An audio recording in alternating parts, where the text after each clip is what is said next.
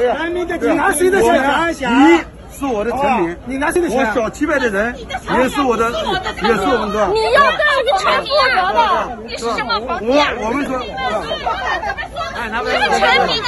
后面后面，啊，对吧？什么国姓人？再说一遍。那我们谁来告？呃，这个臣民啊！你是皇帝。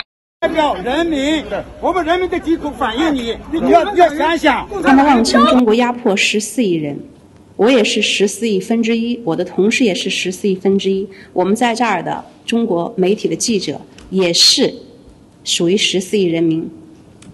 我们怎么没有感受到任何压迫？我们为什么觉得当今生活在中国特别的幸福、安全、自豪和骄傲？你们能够在抗击疫情期间生活在中国，你们就偷着乐吧。等会儿我去吃饭，来等干一啊。